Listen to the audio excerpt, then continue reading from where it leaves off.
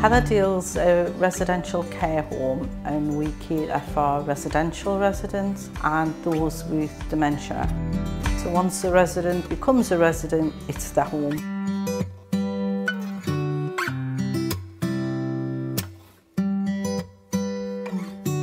We find out what the resident needs through a pre-assessment and spend time with the families, talking to them, talking to the potential resident, and then we adapt our care episode.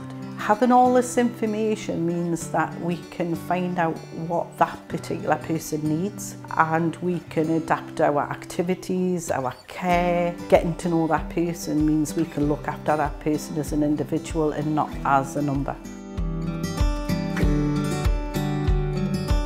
My job mainly is to get to know the resident and to bring the things that they like into my activity plan. It's just to make them feel, you know, better and included. It's just so nice. The relationship between the staff and the residents is absolutely fantastic. We're just like one big family. It's just a home from home. I love getting to know them. I love to find out where they've worked in the past, what their lives have been like. I love them all to bits. I'm 94 and I had two falls and my daughter got worried.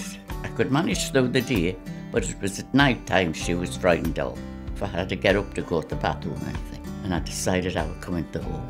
And we passed this place when we were out in the car. And I said, if I, if I have to go to a home, I'm going in there. And I love it very much. Well, everybody's so kind and so helpful. And when I came in here, the staff were very, very helpful and I felt at home at once. It is home.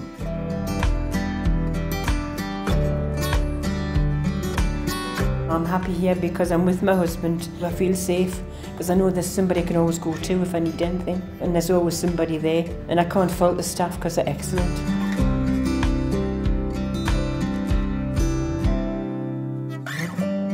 It's lovely in here, it's like second home to me.